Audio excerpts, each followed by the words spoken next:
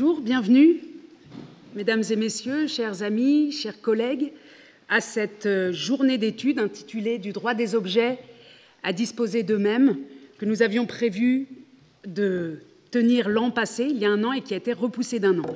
Je dis ça parce que le sujet est devenu d'actualité dans cette année quand on a proposé ce sujet juridique sur la question du retour d'objets. On le faisait dans une perspective, il y a un an et demi, euh, abstraite, comme des intellectuels qui imaginent euh, des choses. Et puis l'histoire s'est accélérée, comme vous le savez. À l'automne dernier, Emmanuel Macron a annoncé euh, bruyamment la restitution du patrimoine africain conservé dans les collections nationales françaises à l'Afrique, restitution temporaire ou définitive, ce qui a enchaîné toute une dynamique de domino en Europe, beaucoup de prises de position dans les différents pays européens, si bien que notre sujet, qui était un, jeu, un jeu intellectuel, avec tout le sérieux des jeux intellectuels il y a un an, est devenu un vrai sujet d'actualité.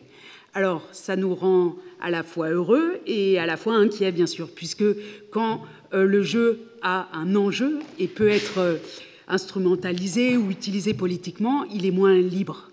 En tout cas, on est très heureux de pouvoir tenir euh, cette table ronde euh, aujourd'hui, très reconnaissant à tous nos participants qui viennent euh, de loin, pour certains, d'avoir accepté d'y participer. Et nous commençons avec un tout petit retard parce que notre tout premier intervenant, Alain Schnapp, semble bloqué dans les transports en commun. Mais on a confiance et on pense qu'il arrivera. Donc nous commençons avec un peu de retard, mais nous espérons que nous tiendrons le temps. Je commence rapidement vous présentant évidemment Yann Potin, mon collègue et ami, archiviste aux Archives nationales, chartiste normalien. On a pensé cette euh, table ronde ensemble et on va se partager l'introduction. Je commence, il fait le milieu, je refais un peu de la fin et on va essayer euh, d'être euh, le plus dynamique et le moins figé possible les uns et les autres. Et pour ce faire, nous commençons par de la musique que les spécialistes du Collège de France tout à l'heure ont qualifiée de rock punk, non, rock, rock gothique. Nous commençons donc par un extrait d'une minute de rock gothique. Attention aux oreilles, c'est une sorte de voyage qui nous emmène dans un village nommé Willich, entre Krefeld et Mönchengladbach, où en juillet 2012, un jeune photographe et compositeur, Ares Kalogeropoulos, a posté sur YouTube ce rock gothique à défaut de meilleure dénomination, exactement sur le sujet qui nous occupe. Alors pour nous mettre en mouvement, nous commençons par cette minute de rock gothique. L'idéal serait que la lumière soit un tout petit peu plus basse pour que nous profitions bien de cette minute.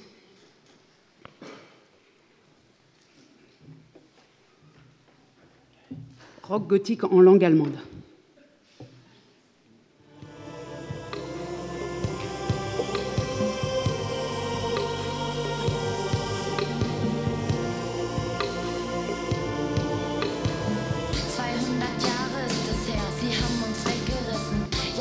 Geschichte lebt in uns, wir wurden nie vergessen. Die Welt, sie weiß, wir waren mal sechs Geschwister. Zu stehen alleine ohne Stimme und ihrem Verlust ist ziemlich bitter. Jetzt sind sie fünf, ich darf nicht bei ihnen sein. Das Fundament wird schwer gestützt, sie brauchen mich, sonst stürzt es ein. Ich muss zurück, lasst mich hier endlich raus. Ich spreche in Demut für mein Land. I am Greek, ich will nach Haus.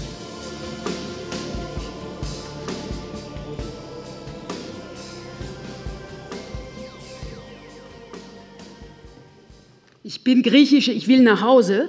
C'est le message en allemand de cette euh, cariatide de l'Eric Taillon que vous avez reconnu, qui, dans ce petit extrait, vous pouvez consulter vous-même les quatre minutes de ce clip sur euh, YouTube, qui, dans ce petit extrait, donc, euh, se plaint d'être séparé de ses sœurs, les unes étant au British Museum l'une étant au British Museum et les autres étant restées à Athènes. Et j'en profite euh, aujourd'hui aussi pour saluer la présence du directeur du British Museum, euh, Hartwig Fischer, qui nous a fait l'amitié de venir de Londres pour participer à notre table ronde. Donc, Ich bin griechisch, ich will nach Hause, une statue qui demande le droit, qui veut rentrer chez elle, c'est un motif que l'on rencontre dans différents euh, prospectus d'activistes politiques, y compris dans le contexte grec et britannique euh, sur ce, prospectus euh, fabriqué par une, pour une campagne publicitaire où l'on voit un homme en slip qui, semble mimer euh, la Vénus de Milo. Donc là encore, une identité entre des statues, des objets qu'on pourrait croire inanimés et une personnalité, un être vivant. Donc l'une, dans le cas précédent, était une statue qui parle et qui réclame euh, son retour. Ici, on voit euh, un homme mutilé comme une statue qui ne parle pas et qui semble passif sous le titre d'Elginisme qui rappelle les conditions historiques dans lesquelles il serait, lui, ou évidemment ceux qu'il représente, la statue, euh, passée de son lieu d'origine euh, à l'Angleterre au début du XIXe siècle. Alors pour euh, cadrer, pour organiser notre introduction, nous, avons, nous proposons trois volets qui s'intitulent Constat d'omniprésence, Construire l'objet et nous ici. Et dans chacun de ces volets, que nous allons nous partager, Yann Potin et moi, nous allons dire quelques mots, en maximum un quart d'heure, euh, sur le sujet qui va nous occuper toute la journée. Et je commence donc par ce constat d'omniprésence. Quand on s'occupe de translocation patrimoniale, de déplacement de collections, d'appropriation, de centralisation de collections d'art, de bibliothèques et d'archives.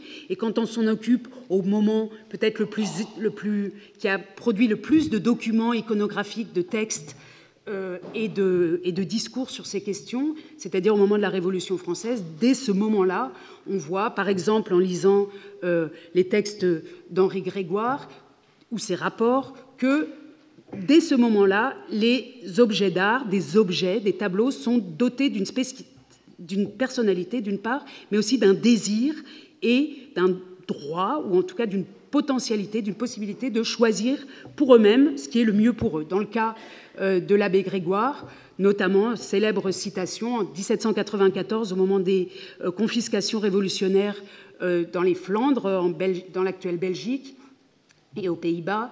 L'abbé Grégoire annonce à Paris lors d'un discours Crayer, Van Dyck et Rubens sont en route pour Paris et l'école flamande se lève en masse pour venir orner nos musées. Comme si les tableaux de Crayer, Van Dyck et Rubens ou leurs auteurs s'étaient levés en masse eux-mêmes, ces écoles de peinture, s'étaient mis en route avec leurs jambes eux-mêmes pour rejoindre Paris, pour rejoindre le pays de la liberté, pour rejoindre les possibilités qu'allait leur donner le pays de la liberté, puisque la rhétorique qui sous-tend ces confiscations révolutionnaires, c'est que l'art étant un produit de la liberté, il doit être concentré au pays de la liberté, c'est-à-dire en France. Et ici, ce ne sont pas des acteurs politiques qui déplacent des objets, mais bien les objets qui décident eux-mêmes d'aller à Paris leur plein gré au pays de la liberté. Cette euh, figure rhétorique de l'objet qui désire lui-même rejoindre le pays de la liberté, on la retrouve à sens inversé quelques années plus tard, quand, euh, à la fin de l'Empire, Paris est contrainte de restituer euh, les œuvres qu'elle avait saisies. On voit ici, par exemple, en 1815, je l'ai souvent montré dans le cadre des cours ici au Collège de France, ce tableau, ce triptyque du jugement dernier de Memling, qui avait été saisi par Dominique Vivant-Denon à euh, Danzig, à Gdansk, en 1807, et qui en 1815, quand il revient et qu'il fait une station à Berlin, donne une interview, une interview au Berlinische Nachrichten. Et vous voyez qu'ici, euh, il va donc sur plusieurs pages donner des Worte des Danziger Bildes, das jüngste Gericht vorstellend, an seine Freunde. Donc il donne une interview, il parle à ses amis et il explique euh, ce que ça a été pour lui que ce voyage à Paris et il réclame maintenant une visibilité plus grande maintenant qu'il a vécu l'expérience du Louvre et de la grande visibilité internationale qu'il y a eu pendant quelques années, il réclame désormais d'être visible aussi et de ne pas retourner dans son église sombre de Danzig, mais d'être exposé dans un musée public. Donc, dans ces années 1800, entre 1794, euh, les premiers grands déplacements patrimoniaux euh, d'œuvres d'art, et 1815, euh, les tableaux parlent, les tableaux disent eux-mêmes ce qu'ils veulent. Alors, ce phénomène, on le trouve très loin en arrière dans l'histoire. Là encore, l'un des premiers documents qui nous témoigne d'une restitution est le fameux prisme qui, relate les saisies d'Assurbanipal que j'ai déjà montré, où ici Assurbanipal explique qu'une déesse, Nanaya, a attendu 1635 ans et a fini par demander à Assurbanipal de la ramener chez elle, puisqu'elle avait été enlevée 1635 ans, dit-il plus tôt. Et on peut lire donc dans ce cylindre, sur ce cylindre, sur ce prisme euh, qui rapporte ces euh, récits de bataille d'Assurbanipal, sa campagne, que Nanaya, la statue, lui aurait dit Nanaya, très en colère pendant 1635 ans, Nanaya, qui était partie pour Elam, celui indigne d'elle, m'a confié la tâche de la ramener chez elle. Et on voit en quelques mots ensuite que Nanaya est très contente de rentrer chez elle, enfin, euh, parce qu'Assurbanipal est venu la libérer d'un endroit où elle se sentait extrêmement mal, où elle s'est sentie pendant un millénaire et demi extrêmement mal. Donc, une omniprésence de cette figure rhétorique autour de 1800 dans le contexte européen, mais aussi, si on part en arrière dans le temps, dans des témoignages euh, archéologiques, ou alors si on avance jusqu'au XXe siècle, de multiples documents qui témoignent aussi de cette personnification d'objets qui prennent pour eux-mêmes des décisions. Vous voyez ici, au moment où euh, les Allemands ont cru devoir restituer le buste de Nefertiti, vous voyez une caricature parue dans Simplicissimus en 1930, où on voit Nefertiti, donc le buste, doté de seins, d'une taille, d'une jambe et d'une mini-jupe, et ses collègues du musée euh, euh, du Caire, qui la voient revenir, euh, s'exclament, on le voit en dessous, man merkt, dass sie in Berlin gewesen ist. Qu'est-ce qu'elle est maquillée, cette Nefertiti On voit qu'elle est restée longtemps à Berlin. Donc là encore, une œuvre qui a pris la décision de rentrer elle-même en jupette, en quelque sorte, et qui a été transformé pendant son séjour d'une quinzaine d'années à Berlin et qui revient comme une personne dont on commente euh, le, style, le nouveau style ici. Ce qui, cette omniprésence qu'on trouve dans l'histoire, c'est-à-dire de l'Antiquité à aujourd'hui, on la trouve aussi euh, répartie dans l'espace.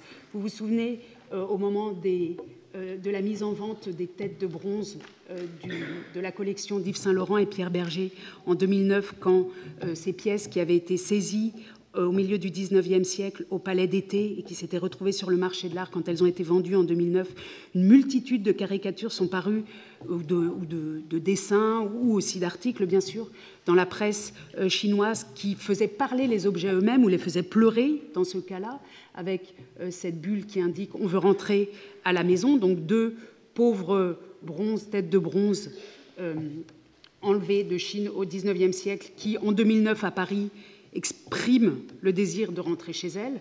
Et euh, si on, change de continent, là on était en Asie, ce texte que euh, certains d'entre vous connaissent sûrement d'Aminata Traoré, ancienne euh, ministre de la Culture du Mali, qui en 2006, au moment de l'ouverture du musée de Quai a formulé un texte important et souvent cité, qu'on retrouve dans plusieurs anthologies, sur la présence du patrimoine africain en Europe. Et à la fin de ce texte, Aminata Traoré interpelle les objets eux-mêmes, leur parle comme si c'était des personnes ou même comme s'ils étaient mieux que des personnes. Elle écrit, j'ai euh, raccourci ce passage que vous trouvez facilement aussi, ça a été un texte beaucoup diffusé sur Internet. Elle écrit, pour terminer, je voudrais m'adresser encore une fois à ces œuvres de l'esprit qui seront intercédées auprès des opinions publiques pour nous. Donc elle s'adresse aux œuvres de l'esprit, aux objets, qu'elle n'appelle pas objets, et c'est significatif, aux œuvres de l'esprit, qui doivent, selon sa construction rhétorique, selon sa stratégie, la stratégie de ce texte, ces œuvres qui doivent intercéder auprès des opinions publiques en faveur euh, des Africains ou des intérêts des Africains. Je continue quelques phrases euh, de ce discours adressé aux œuvres. Vous nous manquez terriblement. Notre pays, le Mali et l'Afrique tout entière continue de subir bien des bouleversements. Au Dieu des chrétiens et des musulmans qui vous ont contesté votre place dans nos cœurs et vos fonctions dans nos sociétés, s'est ajouté le Dieu argent. N'entendez-vous pas de plus en plus les lamentations de ceux et celles qui empruntent la voie terrestre, se perdent dans le Sahara ou se noient dans les eaux de la Méditerranée? Si oui, donc vous, œuvre, si vous entendez les voix des migrants, si oui, ne restez pas muette, ne vous sentez pas impuissante, soyez la voix de vos peuples et témoignez pour eux. On a un retournement ici, vraiment, où c'est finalement les œuvres qui sont la voix des peuples, des peuples sans voix. Et c'est cette figure-là qui va nous intéresser dans ses dimensions politiques, psychologiques, symboliques, en termes d'histoire de l'art et surtout aussi, à la fin de notre journée, euh, dans sa dimension euh, juridique. Ce sont ces implications qu'on voit ici très souvent, mais qui n'ont pas été pensées encore ensemble, que nous aimerions traiter euh, dans le cadre de ce colloque. Ce texte d'Aminata Traoré est de 2006. Je passe la parole pour notre deuxième petit volet d'introduction à Yann Potin qui va évoquer qui va évoquer donc la manière dont on pourrait collectivement euh, construire cet objet qui n'existe pas, donc euh, cet objet sur les objets, euh, l'autodétermination des objets, et bien entendu cette, cette façon de les faire parler, cette prosopopée des objets, pourrait-on dire. et il est évident que cette journée s'inscrit de ce fait dans une sorte d'histoire des possibles, pour reprendre l'expression désormais euh, courue de Pierre Saint-Garavelou et Quentin de Luermoz, ou une histoire des impossibles plutôt à venir. Une sorte donc de what-if history juridique, en quelque sorte, euh, avec cette question en ligne de mire, et si un jour les objets et les œuvres d'art étaient, reconnus comme des sujets de droit Et évidemment, cette question a pris une couleur nouvelle, non pas avec un objet, mais avec euh, un élément du patrimoine naturel, c'est-à-dire euh, cette reconnaissance en Nouvelle-Zélande euh, l'an dernier, en 2017, en mars 2017, euh, de la personnalité juridique à un fleuve, le fleuve Wanganui, donc. et évidemment, la comparaison n'est pas terme à terme, mais il y a beaucoup à partir de là à démêler et à éventuellement s'interroger. ne nous y trompons pas, l'idée de prêter aux objets la fiction d'une intentionnalité quelconque, on l'a vu puisque les objets parlent à la place des dieux, à la place des hommes, vise à mieux faire apparaître évidemment les enjeux sociaux et les acteurs qui utilisent la ventriloquie ou l'anthropomorphisme des objets, d'où l'importance des statuts, on y reviendra, pour revendiquer une appartenance, une appropriation, voire un nouvel usage. Nouvel usage qui s'accompagne ou non du reste d'un transfert de propriété à venir de ces mêmes objets. Les quatre questions visent à faire varier une seule et même interrogation au fond. À quelles conditions, rhétoriques, anthropologiques, politiques et peut-être juridiques, les acteurs du patrimoine et de sa conservation parviennent-ils à faire croire que les objets peuvent avoir un droit sur leur destination et leur propriété collective? Cette dernière question, du reste de la propriété collective, peut apparaître comme une contradiction entre la singularité d'un objet personnalisé, n'est-ce pas Et la revendication d'en faire l'élément d'un patrimoine commun. Il se trouve que cette journée a aussi une autre ligne de crête commandant sa genèse, c'est un constat trop évident pour être sans appel. Parmi les éléments du patrimoine culturel, les documents d'archives font l'objet, euh, eux aussi, de revendications, mais euh, la plupart du temps, alors qu'ils parlent par leur, euh, par leur nature écrite, ils se distinguent par leur capacité juridique. En tant que titre de souveraineté, leur revendication ne fait pratiquement pas de débat, ou en tout cas beaucoup moins de débat, à la différence des manuscrits du reste. Euh, on le verra tout à l'heure avec Isabelle Lemann de Chermont. Euh, ce n'est pas donc une question d'opposition entre, d'une part, les objets et d'autre part, les documents, euh, mais peut-être quelque chose autour de la question du matériel euh, et de l'archive, en fait, euh, retrouvant par là l'assimilation des objets à des archives matérielles, mais qui ne seraient justement sans voix tout en ayant une identité. Euh, donc cette journée s'inscrit dans une approche résolument sociale et politique du patrimoine, faire du patrimoine, comme l'avait judicieusement compris Daniel Fabre, avec qui cette journée avait été conçue et qui depuis lors est disparue, non pas donc faire du patrimoine non pas une fin en soi, mais l'aiguillon est le révélateur d'un rapport des sociétés contemporaines, notamment au passé. Il s'agit bien de comprendre pourquoi la chaîne ou la geste patrimoniale peut être assimilée à une autre manière d'agir et de pouvoir faire. Ce qu'un dernier, ce qu'un récent numéro de la revue 20e siècle a essayé de euh, discuter pour donc pas tant une histoire des politiques du patrimoine qu'une histoire politique du patrimoine, c'est-à-dire une histoire du patrimoine comme acte politique. Euh, et effectivement, à partir de là, nous pourrions, mais nous n'en avons absolument pas le temps, euh, vous promener dans une forêt de références, dans un arrière-monde bibliographique absolument monstrueux, puisque euh, l'idée n'est absolument pas nouvelle, et même on peut dire qu'elle est fondatrice. Davantage qu'un état de la recherche sur cette question, il serait plutôt intéressant de dresser une nébuleuse de références à travers le semi des disciplines aujourd'hui convoquées, à tout, seigneur, tout honneur, si j'ose dire, avec l'anthropologie, puisqu'en effet, le rapport social aux objets est tout simplement au fondement euh, d'une histoire des religions faite science totale de l'homme, qu'on l'appelle ethnologie ou anthropologie. de Fraser à Philippe Descola et Maurice Godelier, en passant bien entendu par la question décisive du totémisme, la manière dont on prête un esprit aux objets et dont les sociétés investissent les objets, se projettent à l'intérieur des objets est évidemment une euh, question essentielle.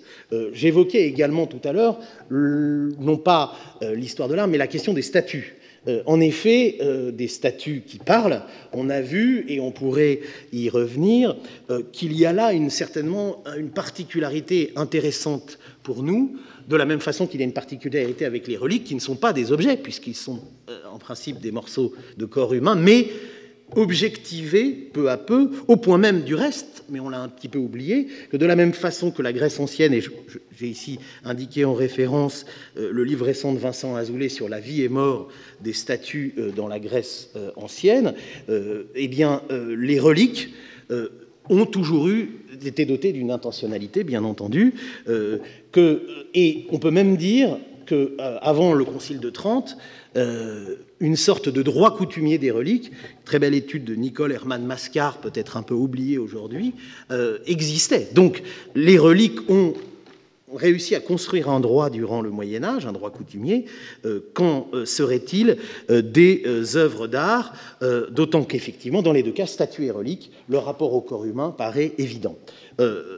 Mais au-delà de euh, cet autre, euh, autre, segment de référence pourrait évidemment euh, procéder de l'histoire sociale des objets, avec le livre de référence de, dirigé par Apadorai dans les années 80, The Social Life of Things, qui a déterminé toute une histoire de la culture matérielle et de son rapport et de ses transferts culturels. évidemment, on pourrait parler des heures de cette question, justement, cette fois-ci, non pas de l'objet singulier dans sa vie et son destin, mais au contraire de l'objet banal. Euh, et nous, essaierons aussi d'aborder cet aspect, euh, peut-être, c'est-à-dire la question, justement, de l'appropriation et de la vie des objets ordinaires, des objets familiaux. Euh, et bien entendu, avec comme ligne de mire, plus globalement, la question de l'archéologie en général. Puisqu'au fond, au fond, peut-être est-ce là le domaine le plus évident pour réfléchir à la propriété et à l'appropriation des objets, puisque le patrimoine archéologique, en tout cas quand il est enfoui, par sa révélation même, pose la question d'une appropriation. Est-ce euh, les propriétaires contemporains du sol qui sont les légataires de ces objets, puisque, par définition, les objets archéologiques ne peuvent parler, mais tout en étant une force potentielle euh, extraordinaire d'héritage et d'identité et d'appropriation d'autant qu'évidemment le patrimoine archéologique est au cœur de la construction, des constructions nationales du XIXe siècle. Voilà un premier bouquet, si j'ose dire, euh, de références qui euh, doivent nourrir notre réflexion euh, ce matin et cet après-midi. Merci. Notre réflexion qui est conçue, donc nous ici, comme un atelier le plus ouvert possible. Alors vous aurez peut-être euh, lever euh, les yeux au ciel mentalement en voyant le nombre euh, et l'éminence des participants réunis aujourd'hui. Il ne s'agit pas de faire un marathon additif de contribution, mais de tenter plutôt par des ce que les Allemands appelleraient des impulse référates, par de courts exposés, de lancer quelques pistes. Et l'idée serait, si ça marche bien, si notre atelier marche bien, de discuter ensemble et d'essayer de faire émerger des points de convergence entre nous qui venons tous euh, de disciplines euh, assez différentes. Donc nous, ce sont 18 euh, participants. Ce que vous voyez indiqué ici avec leur nom souligné sont nos modérateurs. Nous sommes très heureux, très honorés que Pierre Rosenberg, Alain Suppiot, François-Xavier Fauvel et Edem Eldem aient pris le temps et nous fassent l'amitié d'être ici avec nous pour essayer d'animer justement ces débats ouverts et seront les modérateurs de nos quatre panels quatre panels qui vont poser les questions suivantes. Je présente le premier et le quatrième, et Yann le 2 et le 3. Le premier s'intitule Une figure de style. Dans ce panel, il sera question de la figure de style évoquée tout à l'heure déjà, qui consiste à faire parler les objets. Elle croise des questions bien connues des historiens de l'art, familiers de l'agency des œuvres et des effets symboliques de l'octorialité, par exemple. Est ici en jeu, ou sera en jeu, le rapport entre l'objet et son créateur, qu'il soit humain ou divin, et au sceau que ce dernier imprime dans l'objet. L'âme du créateur est-elle susceptible d'animer au sens propre les objets et les œuvres? Est-ce que ce sont les œuvres et les objets qui animent le créateur? Et si oui, pour quel motif? Pour répondre à, ou tenter de répondre, ou pour explorer ces questions, seront réunis autour de Pierre Rosenberg dans un instant Alain Schnapp, Isabelle Lemann de Chermont, Charlotte Guichard et Eleonora Vratskidou, que les modérateurs présenteront euh, euh, au début de leur petit, de leurs courts exposés, et puis qui entreront en dialogue ensuite. Seconde oui, seconde question, euh, même si le terme principe peut paraître discutable, euh, un principe anthropologique, c'est ce que j'ai déjà évoqué tout à l'heure, c'est-à-dire cette question du pouvoir attaché aux objets, à leur possession, à leurs échanges agonistiques, donc tout le questionnaire, évidemment, du don, même s'il ne sera pas abordé directement, certainement, mais après tout, euh, le vol est un don singulier, de la même façon que la restitution est une, aussi une forme de retour euh, Euh, là, là-dessus, il y a évidemment une littérature absolument monstrueuse. Donc, échange agonistique, plus ou moins circulatoire, dans l'espace du lien social, comme dans le temps des constructions lignagères, généalogiques et donc nationales, hein, puisqu'en effet, cette circulation décrit des territoires. Et là, c'est François-Xavier Fauvel, donc directeur de recherche au CNRS et historien et archéologue de l'Afrique, qui on va dire, animera la discussion entre Gaël Beaujean, euh, du musée du Quai Branly, euh, Benoît de l'Étoile, Manuel Charpry et Nanette Snoop, qui nous vient aussi du monde des musées euh, en Allemagne. troisième question, un argument politique. Alors là, ici, c'est véritablement. On, on rentre un petit peu au ras ou au front du sujet, c'est-à-dire la problématique de la revendication des objets, cette fois-ci dans ce dans ce double langage entre l'objet qui parle et l'objet qu'on fait parler, hein, la problématique de la revendication, de la restitution des objets, à, partir des, pratiques des institutions de conservation elles-mêmes, en saisissant la logique de concentration, de redistribution patrimoniale, comme un geste et un instrument, surtout politique, à part entière. Donc, dans ce cas, ce sera euh, Edem Eldem euh, professeur au Collège de France, euh, qui animera la discussion entre Arvid Kischer, déjà évoqué, directeur du British Museum, Christian Autin, qui représentera le ministère de la Culture, Léanie Klins, du Louvre, du Musée du Louvre, et Vincent Négri, premier juriste d'une longue couronne qui nous permettra, si j'ose dire, d'atteindre le but mythique de cette journée, c'est-à-dire la quatrième question. Une fiction juridique où il sera donc question de prendre au pied de la lettre cette expression du droit des objets à disposer d'eux-mêmes, qui est euh, par analogie, euh, qui rappelle celle du droit des peuples à disposer d'eux-mêmes, bien sûr. Ici, il s'agira, en confrontant les approches du droit du patrimoine culturel tel qu'il s'est récemment spécifié dans un contexte occidental à celle du droit international, d'explorer les potentialités ou les obstacles qu'offrent aux objets le savoir et la pratique du droit à disposer de soi. Ce sera, c'est notre section finale. On espère que le match France-Pérou ne euh, lui causera pas de soucis. En tout cas, cette discussion sera animée euh, par Alain Supio, professeur au Collège de France, et elle euh, lira, elle mettra en, dialogue Corinne Hershkovitch, avocate et spécialiste des spoliations des familles juives, notamment Marie Cornu, Noé Wagner, l'un et l'autre spécialiste du droit du patrimoine, et Pierre Baudot-Livinec, qui euh, interviendront sur ces questions. J'ai oublié Xavier Perrault. Oui. Pardon, là-haut, très important. Je ne l'ai pas oublié, mais il n'est pas en blanc. C'est un problème technique. Pardon. Et cette journée, que nous espérons bonne, nous permettra de savoir si, oui ou non, on peut utiliser cette métaphore, on peut continuer de la prendre au sérieux aussi quand elle est utilisée par exemple dans les médias ou quand, par exemple, Emmanuel Macron tweetait en novembre dernier qu'il ne supportait pas ou que l'Élysée ne supportait plus que les œuvres soient prisonnières dans les musées français. La métaphore de la prison fait partie de tous ces euh, euh, éléments qu'on a évoqués et nous verrons dans quelle mesure, après cette journée d'études, on peut entendre ce genre de propositions avec les mêmes oreilles qu'avant. Est-ce que ça va nous transformer Nous l'espérons beaucoup.